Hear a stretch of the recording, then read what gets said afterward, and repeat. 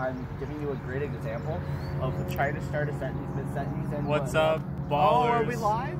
Are we? Are we? Are we live? Oh, that's sick. No. I didn't see you guys there. Wow. I. That was not scripted. Through television, you can now join us. Yeah.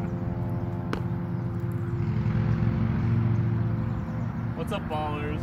It's Tizzle Fizzle. Baller season. It's not baller weather because it's not raining. Here's Connor Danke. Yo, what's up, guys? Yeah, so. Um, oh, welcome back to the series of Thinking of a New Idea. Uh, we're at the park again.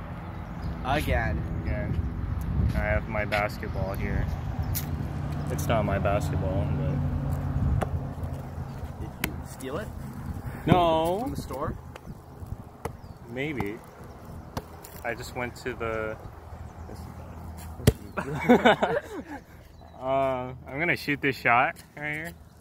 Yeah, you know what? I'm gonna shoot from way back here because I'm baller. And what happens if you make the shot? If I make the shot, then I'm gonna I'm gonna hit a backflip off that table. And then if I miss the shot, I'm, I don't know what to do. Uh, Do a backflip off the table. I'll do a backflip off the table. do a backflip off the table. Let's go. Okay, you ready? I'm ready. Baller season.